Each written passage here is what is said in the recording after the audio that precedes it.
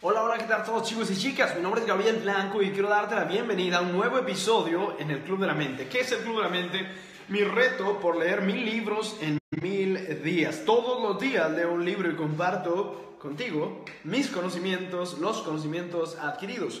¿Por qué? Por dos razones fundamentales. La primera de ellas, aunque trabajamos con nuestros cuerpos, son nuestras mentes las que nos hacen obtener resultados extraordinarios. Y la segunda razón, aún más importante, es porque quiero inspirarte y quiero inspirar a millones de personas alrededor del mundo a lograr todos, todos, todos sus sueños, señoras y señores. Es por eso que si me ves aquí rompiendo un récord Guinness, rompiendo un récord de disciplina extraordinario, todos los días leyendo un libro sin fallar, durante 428 días, señores. Imagínense eso. 428 días sin fallar uno solo. Eso es lo que estamos haciendo. Hoy vamos a hablar al respecto de cómo multiplicar los resultados en tus ingresos y en tus ventas. Como saben, en todo este tiempo vamos a estar hablando sobre ventas, por lo menos hasta el episodio 500 de Perú, que ya se acerca, menos de 76 dos días para el evento de Perú, en donde vamos a estar hablando de una gran sorpresa, señores, de Facebook, de cómo vender miles con Facebook. ¿Quién quiere aprender a vender miles con Facebook? Déjamelo aquí en los comentarios. ¿Quién quiere aprender a vender más de su empresa, de su producto, de su servicio, como profesional, como coach, conferencista, autor, vendedor de infoproductos, afiliado, dueño de un negocio tradicional? ¿Quieres aprender a vender más con Facebook usando una fanpage, viralización, todo tipo de redes, utilizando la publicidad, utilizando la automatización con el chatbot, la nueva herramienta que hay hoy en día? Si lo quieres, déjamelo aquí en los comentarios porque vamos a estar en Perú haciendo historia, señores. En Perú haciendo historia, episodio 500 de El Club de la Mente. Prepárense porque ya llegó la hora. ¿Ustedes saben algo? A partir del episodio 500 vamos a tener un cambio tremendo en el Club de la Mente. Y el cambio es el cambio... ¡Qué sorpresa! Campeón dice, saludos desde Estados Unidos. Señores, muchísimas gracias. Por supuesto que hago esfuerzo. Déjame aquí en los comentarios desde dónde nos estás viendo, desde México, Perú, Argentina, Chile, Ecuador, Paraguay, Uruguay. Desde dónde nos ves en esta noche. Ese es mi objetivo, señores no importa, de hecho, si me ve una persona 10, 50 mil, 50 mil, 500 mil, porque esa es la manera de hacernos leyenda, esa es la manera de hacerte parte de la historia. Si tú también quieres ser leyenda en tu vida, si tú también quieres ser un ser extraordinario, tienes que estar totalmente dispuesto totalmente dispuesta a entregar toda tu energía, a entregar toda tu pasión, a entregar toda tu vida por aquellas cosas que anhelas. Entonces fíjate, los grandes hombres han entregado toda su vida, cada segundo, a esas cosas que anhelan. Los hombres normales regularmente han entregado su cuerpo a un jefe, por ejemplo, y punto. Saludos a todos, gracias por estar conectados. Un abrazo para cada uno de ustedes, Yael, Segura, gracias. Bueno, hablemos de cómo tener resultados duraderos, cómo hacer que se multipliquen tus ingresos de manera metódica. Hoy voy a hablar de un libro que se llama Results That Last de Kent Stoddard. Results That, That Last de Kent Stoddard. Y este libro habla al respecto de cómo controlar a tu equipo, literalmente, de cómo controlar a tu equipo de trabajo. Es fundamental, te lo voy a decir, ese es mi máximo, bueno, tengo dos retos en mi negocio hoy en día, el primero es controlar a mi equipo y el segundo, es, es decir, aprender a controlar a mi equipo, me refiero a darles el orden, la organización, la visión, los métodos, las herramientas correctas para que todos tengan resultados mi equipo de, telemarketing, como sabes. Y mi segundo reto es saber medir bien la cantidad de tráfico, el grifo de tráfico. Porque a veces mandamos demasiado tráfico al punto de que uno de mis miembros del equipo de ventas dice, ya no puedo con tantos prospectos. Y a veces cierro demasiado la llave del tráfico y me dicen, no tengo prospectos, no tengo a quién llamar, no tengo a quién ofrecerle tus productos. Entonces fíjate qué interesante, esos son los dos grandes retos, pero hoy el libro de Kent Stoddard, de Resultados Duraderos, nos habla al respecto de cómo controlar a nuestro equipo de trabajo. ¿Tienes un equipo de trabajo hoy en día, sí o no? ¿Cuántos miembros son tu equipo de trabajo? ¿Son acaso tres personas, cinco, diez, quince, cincuenta, quinientas personas? ¿Cuántos empleados, cuánto equipo tienes hoy en día que te apoya? Pues bueno, si no tienes equipos y la respuesta es ninguna, ningún equipo, soy yo solito, el único empresario en la empresa, el, el, emprendedor que hace todo, hasta limpia, abre la puerta, es el que responde el teléfono, el que escribe los correos electrónicos. Si tú eres todo, entonces aprende a organizarte a ti mismo, porque ese es el problema por el que los emprendedores nunca llegan a ser empresarios. Sencillamente porque no se organizan, no se coordinan de ninguna manera. Entonces hacen las cosas a lo loco. Sobre todo en Latinoamérica, tú sabes, en Latinoamérica existe el mayor porcentaje de emprendimiento o uno de los mayores porcentajes de emprendimiento en el mundo. ¿Qué significa esto? Que somos muy emprendedores, nos gusta iniciar negocios, nos gusta hacer cosas. Sin embargo, también Latinoamérica tiene uno de los mayores índices de fracaso en los negocios. Muchos les gusta iniciar las cosas, pero no las hacen bien y por lo tanto fracasan, quiebran en sus negocios rápidamente.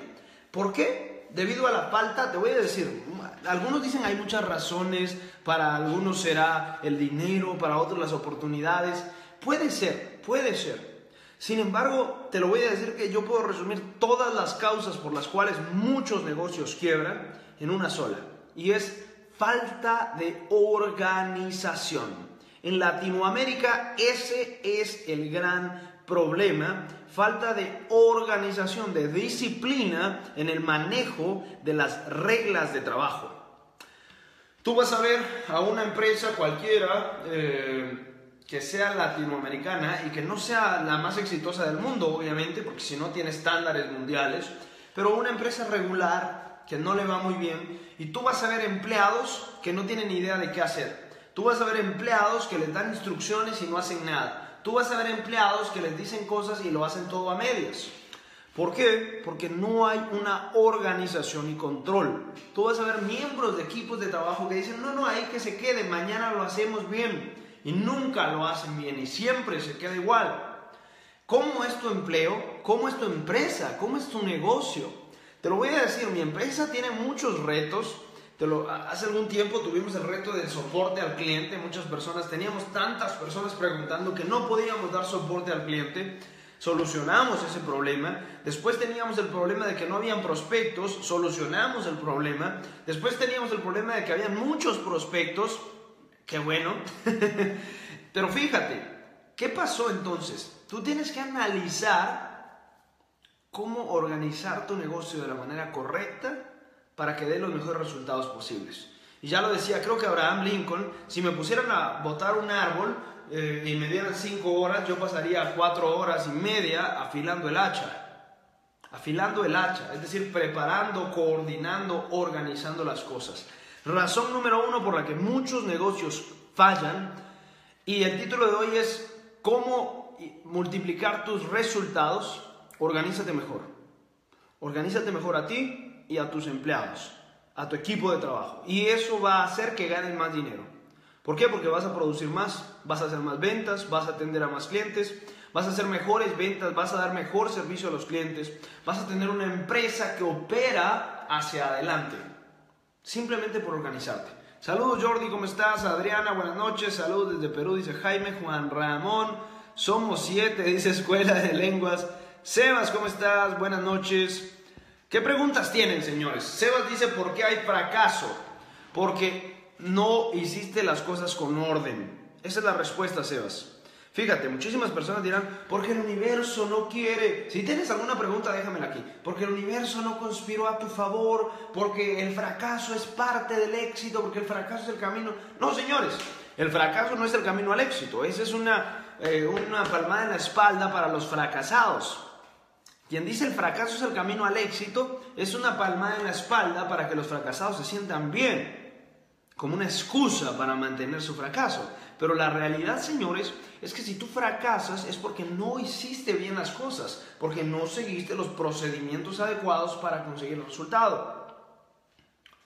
Una cosa es positivismo, señores, y otra es la realidad. Saludos, Alex, saludos, Yusuke, saludos, Luis. Nos falta compromiso, dice Aguida, excelente mensaje. Gracias, señores, gracias. Saludos a todos. Saludos a César, a Market Galle y a Sofía Class. Saludos a toda la gente, compartan la transmisión, por favor, para llegar a más personas. Entonces, ahora sí hablemos de cómo ¿Cuánto tiempo debo fracasar para tener éxito? Nada, yo sé que puedes empezar ya a tener éxito. Puedes empezar ya. Te lo puedo decir, yo no, cuando inicié mi negocio nunca dije, ay, tengo que fracasar muchas veces para tener éxito. ¿Quién quiere fracasar muchas veces? Nadie, nadie, señores. ¿Sí? Yo no quiero fracasar ni una sola vez. Quiero tener éxito, éxito, éxito, éxito, éxito, resultados, resultados, resultados, ingresos, ingresos, Crecimiento permanentemente. Permanentemente, Señor. Nunca quiero, ay, fracasé, pero es camino al éxito. No es cierto. ¿Sí? Si tú aprendes, claramente lo que aprendes fue que hiciste mal. No aprendes en un camino al éxito, lo que aprendes es esto lo hice mal, lo mejor o bueno, perfecto. Si no hubiera, si yo hubiera sabido esa información antes, no hubiera cometido el error y no hubiera fracasado. ¿Cuál fue lo más complicado que pasaste al emprender? Dice Leopoldo. Eh, ¿Qué te puedo decir? Lo más complicado que pasé al, emprender, para mí no fue tan complicado, pero fue el trabajar 18 horas al día, verdaderamente, te lo puedo decir, y hoy en día sigue siendo igual. Hay personas que dicen hay que trabajar inteligente. Sí, yo trabajo inteligente, yo uso metodologías para vender por internet, lo cual me permite obtener ingresos mayores al 1% de la población del mundo, tú lo sabes. ¿Por qué? Porque la mayoría de personas gana poquísimo dinero pero todas estas metodologías, aunque son inteligentes, mientras más tiempo paso enfrente de la computadora, más dinero gano. ¿Por qué? Porque hago más cosas, ¿sí? Hago más sistemas, hago más productos, hago más negocios, hablo con más clientes, etc. ¿Sí? Perfecciono sistemas. Entonces lo más complicado fue trabajar 18 horas al día y saber que ese es el camino. Si tú no naciste billonario, necesitas eso. ¿Cuál es el... Em, ¿En qué se basa el éxito? Dice César, en trabajo duro, inteligencia. ¿Emprendimiento tiene etapas? Por supuesto que sí. La mejor forma de vender es mediante la web, por supuesto, señores. Este es el camino hoy en día para vender. A eso nos dedicamos nosotros, a vender por internet y ahí está todo el mundo. Veamos entonces, ¿cómo tener resultados duraderos? La mejor medición para el logro corporativo es controlar el, verdaderamente cómo funciona todo. Mira esto, qué interesante. Quienes tienen bajo desempeño acaban con la productividad. Si tú tienes una persona que hace malas cosas, todo el mundo va a empezar a hacer malas cosas. Te lo digo por super experiencia. Super experiencia. No te reúnas con personas improductivas. No te reúnas con personas amargadas. No te reúnas con personas tristes. No te reúnas con personas tontas. Porque el resultado es que vas a ser improductivo, amargado, triste y tonto. En tu equipo de trabajo es exactamente igual. Si tú ves en tu equipo que tienes a alguien aragán, es momento de que lo dejes libre, ¿sí? que lo dejes flotar en el ciberespacio, ¿sí? en el ciberespacio, que se vaya por las redes sociales navegando, ¿sí? o sea, sácalo de tu equipo. Saca de tu equipo a las personas holgazanas, a las personas venenosas y tóxicas. Sácalo de tu equipo. Importantísimo que, que trabajes de esa manera. Porque aquellos que tienen bajo desempeño acaban con la productividad, señores. ¿Cómo aprendí a organizarme, señores? leyendo mil libros. Ahora llevo 428 libros. 428, sí, así es. 428 libros hasta ahora. Y verdaderamente te conviertes en un super genio, señores. Lo que ustedes necesitan es eso. Utilizar conocimientos como escribir a mano, leer, hablar. Esos conocimientos te hacen más inteligente. La mayoría de personas no los usa. A la mayoría de personas les da miedo hablar en público. No leen nada. Nunca escriben no se pueden hacer inteligentes. Además hay metodologías. Aprende metodologías de organización y coordinación, de administración. Sería bueno que des un ejemplo de cómo ir aprendiendo a organizarse. No estás dando opciones, dice César. Por supuesto que sí, metodologías de administración.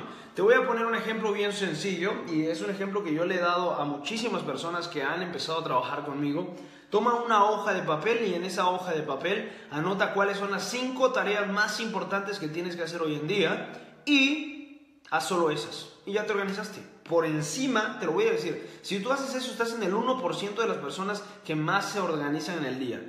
La mayoría de personas son como barcos a la deriva, ¿no? Nada más hacen una cosa y a ver si les va bien, a ver si logran hacerla, cuando en realidad lo que deberían estar haciendo es todo lo contrario, organizarse. Despiértate en la mañana y di cuáles son las cinco cosas más importantes que tengo que hacer. Y no pongas, por favor, ir al baño, hablar con mi hermano, nada de eso. Cinco tareas importantes que te acercan a tu meta todos los días. Todos los días. Otra manera, utilizar los tiempos inteligentes. Pomodoro es una de las técnicas que yo utilizo. Pongo un reloj de cocina que dura 20 minutos y lo pongo a son 25 minutos y lo pongo a sonar ahí mientras tanto yo trabajo y no contesto llamadas por teléfono, no hablo con mi mamá, ni con mi papá, ni con perros, ni con gatos, ni con ardillas, ni con espantos, no hago nada de eso durante 25 minutos. Lo único que hago es trabajar en una de las cinco actividades que yo me propuse hasta que termino y después descanso 5 minutos, 25 minutos de trabajo concentrado donde no hago nada más que trabajar y luego 5 minutos de descanso. Y eso te hace que tu mente se relaje y al mismo tiempo que dispongas de un tiempo específico para trabajar. Te voy a ser bien honesto, la mayoría de personas que trabaja 8 horas verdaderamente tiene unos 30 a 40 minutos diarios de verdadera productividad. 8 horas de trabajo diario, 8 horas sentadote frente a una computadora, 8 horas sentadote en una oficina sin hacer nada y pierdes 7 horas con 30 minutos en las cuales solo estás divagando regularmente. ¿En dónde? En las redes sociales, en el celular, hablando con amigos, yendo al baño, etc. Solo estás trabajando 30 a 40 minutos diarios por desorganización. Por desorganización. ¿Sí? ¿Cómo se obtiene el éxito en la vida? Dice gracias Juan, trabajando duro y con inteligencia. La intuición ayuda en nuestro emprendimiento. No, Sofía, la inteligencia ayuda en tu emprendimiento. Aprender de los que ya saben. Eso es lo que tienes que hacer. Aprender de los que ya saben, que tú ves que están haciendo las cosas, no de los que dicen, de los que hacen cosas. ¿Qué libros podrías recomendar que, que te enseñen a emprender como empresario? Millonario a los 20, César, búscalo. Millonario a los 20 busca ese libro. Yo planeo los domingos y por escrito todo lo que haré en la semana. Fantástico, felicitaciones. Los de Robert Kiyosaki, dice Robert, dice Jordi. Vean, entonces, ¿qué más? Vea diariamente a los subalternos inmediatos. ¿Tienes equipo? Ahí donde tú, sabes, um, Warren Buffett, el hombre, uno de los hombres más ricos del mundo, decía, o dice más bien, si tú quieres enriquecerte, el secreto es que te enfoques en una sola canasta, pero mantente viendo la canasta. ¿Sí? ¿A qué se refiere esto? Obviamente en ámbitos financieros se refiere a otra cosa, pero a este ejemplo. Observa a tu equipo. Si tú no estás ahí con ellos, toda la vida nunca vas a dejar de estar ahí se vuelven locos, no saben qué hacer, se dispersan, pierden energías, pierden tiempo, se deprimen y todo se van y desaparecen. En cuatro o cinco meses tú ya no tienes equipo. Entonces, ¿quieres verdaderamente ser productivo y exitoso? Observa a tu equipo todos los días. Todos los días tienes que estar ahí con tu equipo, ayudándolo, resolviendo sus dudas de una manera organizada. Hoy, por ejemplo, transmití más tarde el Club de la Mente porque estaba con mi equipo de telemarketing con uno de los nuevos miembros de nuestro equipo de telemarketing. Está explicando muchas cosas y tenemos un método organizado para tocar todos los temas en una hora que hablamos o algo por el estilo. Eso tienes que hacer con tu equipo. Organizar incluso la manera de organizarse. Eh, antes de hablar, por ejemplo, una llamada, yo no hablo y hola, ¿cómo estás? Entonces, ¿de qué vamos a hablar hoy? No, no, ya tengo los temas de los cuales vamos a hablar y los enlisto y te pregunto, ¿tú tienes otros temas para hablar? Perfecto, agreguémoslos a la lista y vamos, punto 1, 2, 3, 4, 5, fantástico, qué gusto saludarte, adiós. Listo, 20, 30 minutos dependiendo de los temas, de la densidad de los temas que vayas a hablar y ya se acabó. Siguiente punto, mira, este me encanta. Invariablemente las cosas que mide en el trabajo son las cosas que mejoran. ¿Qué dice Arturo? Sí tiene etapas y la más difícil es cuando estás en el acantilado. Gracias. Eh, entonces, invariablemente las cosas que miden el trabajo son las que mejoran. Y te pregunto, ¿qué estás midiendo hoy en día en tu negocio? ¿Qué estás midiendo hoy en día en tu negocio? Si no estás midiendo nada, por eso no tienes resultados. Te lo puedo decir, yo mido la cantidad de fans que tengo por día, semana, mes. Ah, yo mido la cantidad de ventas que tengo por día, semana, mes. Yo mido la cantidad de llamadas que tengo por día, semana, mes. Tengo, mido la cantidad de prospectos que tengo por día, semana, mes. Mido incluso la cantidad de personas que se suscriben a mi canal de YouTube, que ven mis videos, que compran los productos, todo, todo, todo. La cantidad de dinero que invierto en publicidad, la cantidad de llamadas que hace mi equipo de telemarketing, etc. Todo, todo, todo lo tienes que medir. Si no, no puedes crecer porque no sabes en dónde estás hoy en día. Fundamental eso, fundamental. Siguiente punto, inculque a sus empleados un sentido de organización y responsabilidad por las tareas. Así es. Debes acostumbrar a tus empleados a que si tú les pones una tarea, a tu equipo de trabajo, que si tú le pones una tarea, tú te desentiendes. Es más, cuando yo tengo a un nuevo miembro del equipo de trabajo, siempre le pongo pruebas. Para, por si algún día quieres trabajar conmigo, siempre le pongo pruebas para ver que sea disciplinado, que sea ordenado, que sea humilde, porque eso es fundamental para mí. A mí no me gusta alguien que viene a decirte, entonces qué? No, no, no, no. Que sea trabajador, que sea disciplinado, que sea humilde, que sea inteligente, que sea honesto. Regularmente antes de yo trabajar de lleno con alguien, le doy la confianza suficiente y le pongo pruebas. A veces esas pruebas pueden durar una semana, a veces pueden durar un mes, tres meses, seis meses, incluso hasta un año. He tenido personas a las que les he colocado pruebas hasta un año para saber si verdaderamente son las personas adecuadas para trabajar conmigo o para relacionarse conmigo de algún sentido. A veces he perdido la visión, para serte honesto, pero recuérdala siempre. Eso es lo más importante, que te acuerdes siempre quién eres tú, de dónde vienes y que tengas un estándar de vida, que no te conformes con cosas ridículas que solo te conformes con lo mejor de la vida. Así debe ser, así debe ser, señores. Explicando de apalancarse, dice Sofía. Apalancarse es aprovechar los recursos de otras personas. ¿Sí? Aprovechar los recursos de otras personas. La capacitación es vital para liderazgo, sí, por supuesto. Si tú no entrenas a tu gente con charlas, con conversaciones, con motivación, con ideas, con percepciones distintas, con cursos, etcétera, no vas a eh, lograr para nada, no vas a lograr ningún resultado. Necesitas capacitar a tu gente todo el tiempo, todo el tiempo, todo el tiempo. No hay día que yo personalmente no capacite a mis empleados. Ayude a sus empleados a verdaderamente apasionarse por el trabajo. Normalmente en los equipos vemos un montón de personas que parecen zombies. Yo no sé cómo pueden vivir así. Personas que son empleados y parecen zombies vivientes, literalmente odian su trabajo, no saben ni hacerlo bien, no les agrada, lo hacen a medias, solo por cumplir, porque tienen un sueldo que les pagan, etc. Lo peor que puedes hacer.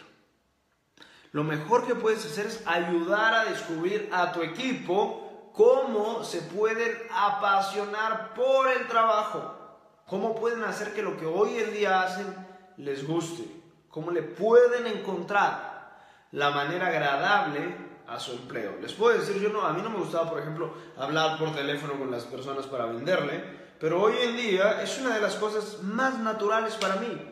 Si a mí me dices, llama a esta persona, es un cliente de 20 mil dólares, tienes que cerrarlo, yo sin ningún problema le hablo y cerramos al cliente de 20 mil dólares.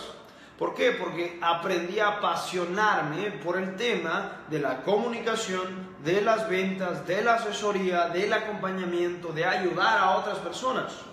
Y esto solo se logra verdaderamente cuando te apasionas por el tema. Es mejor tener colaboradores como amigos, empleados, dice, o gente que no conozcas y quieran trabajar. Es mejor personas que quieran trabajar, César. Te lo digo por súper experiencia personal. Súper experiencia personal. Algunos de mis amigos, sabes que yo tengo amigos de todo nivel, ¿no? Amigos que son mis socios, amigos que son mi equipo, amigos que son, se saben muchísimo y tienen muchísimos más resultados que yo, amigos que quieren aprender de mí y todo el tiempo me escriben para que les ayude, y amigos vagos, ¿sí? Mis amigos vagos yo no los, traté de contratar y es la peor cosa que puedes hacer. La peor cosa. Los amigos piensan que tienen derechos contigo en el sentido de que te pueden tratar como quieran, etcétera, y no les gusta trabajar nada, no les gusta hacer nada, piensan que tú les tienes que pagar porque eres su amigo. Así que lo mejor es conocer personas que quieran trabajar y que sean inteligentes, obviamente. El mejor empleado que puedes tener, el mejor colaborador que tienes, que puedes tener, es alguien que quiera trabajar. Regularmente en Latinoamérica va a pasar seis meses, va a pasar un año y esta persona que antes era pobre, no tenía nada y, quería trabajar, hoy en día ya gana, no sé, 5 mil dólares al año o algo así. Y... ¡Wow! ¡Wow, señores! Ya, piensan que se pueden viajar a, a Dubai, ¿no? Entonces, no es así, señores. Lo mejor es trabajar con personas que quieran trabajar. Eso es lo mejor. Eso es lo mejor. Trabajar con la novia, dice Rigo, bueno, eso puede ser, es una opción. Em, también tienes que aprender a conllevarte. Te, te digo algo, si tú no logras llevarte en la relación de pareja con una novia, menos en un negocio.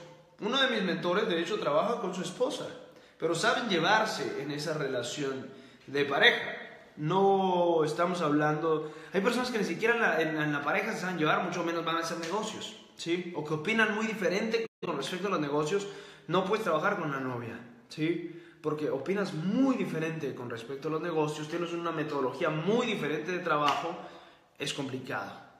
Ahora, si llegas a encontrar ese match, esa manera, y está a la disposición de hacerlo, es posible.